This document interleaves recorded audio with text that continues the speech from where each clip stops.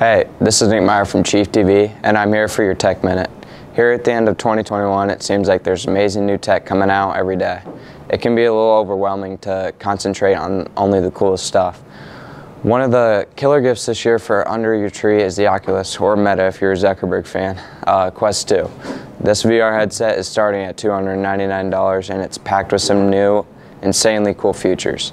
Look at this. To stop us all from kicking the family dog every time we want to play Beat Saber, Oculus released new software called Space Sense recently this week.